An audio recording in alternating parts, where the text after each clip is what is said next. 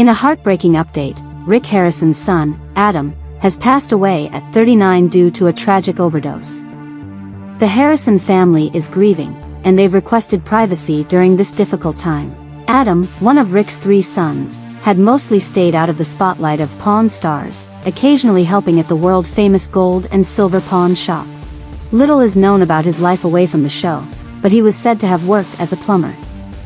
With Adam's untimely demise, we reflect on the fleeting nature of life and extend our deepest condolences to the Harrison family. In times of grief, even a small gesture can make a difference.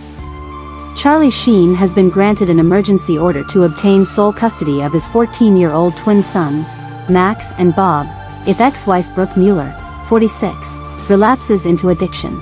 In court documents, Sheen requests the court to enforce previously agreed upon rules without legal response from Mueller.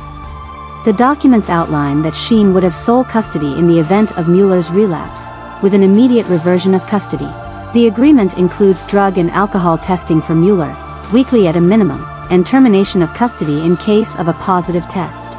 Sheen, who recently celebrated six years of sobriety, is currently supporting Mueller's rent conditionally on her sobriety. In the event of relapse, he reserves the right to terminate financial support. Now let's talk about something that isn't so negative. In an update on HBO's The Last of Us series, Emmy nominee Pedro Pascal shares his uncertainty about Joel's character changes in the upcoming second season. While the first season stayed true to the game's major story beats, creators Craig Mazin and Neil Druckmann are known for taking creative liberties.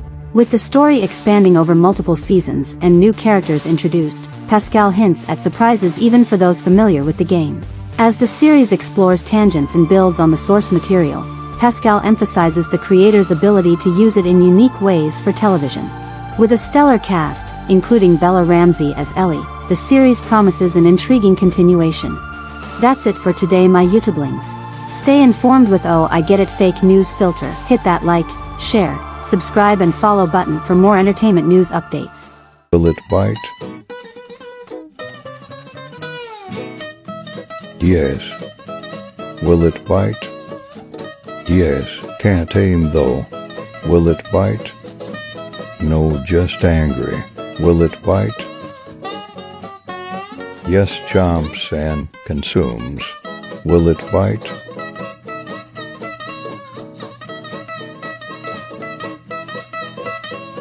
Yes, he gives love chomps. Will it bite?